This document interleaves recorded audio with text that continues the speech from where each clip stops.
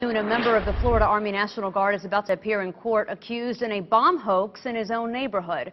24-year-old William Soto Figueroa is accused of threatening female neighbors in Melbourne with what appeared to be an explosive military device. 2 News just obtained a 911 call made by one of the women. He threw a, um, he's like, oh, I have a grenade or whatever, and he threw a grenade inside our apartment complex, and it was taped and he said that it was a joke, it's a prank, it's a prank, but I don't think that that's very funny. Okay. WESH 2's Marina Marraco has more now from the hoax victims. The four college students living in that apartment at first thought this was all a prank, but they soon realized that this went a little too far. He had the gun in his right hand and just like tossed it onto the bed. What was supposed to be a night at home watching TV with friends turned into the scariest night of Caitlin Kern's life. We all freaked out.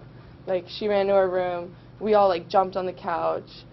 Pretty much like peed ourselves. She says her neighbor, 24-year-old Florida National Guard Sergeant William Soto Figueroa, opened their apartment door late last night and threw in what they believed to be a hand grenade on their living room floor.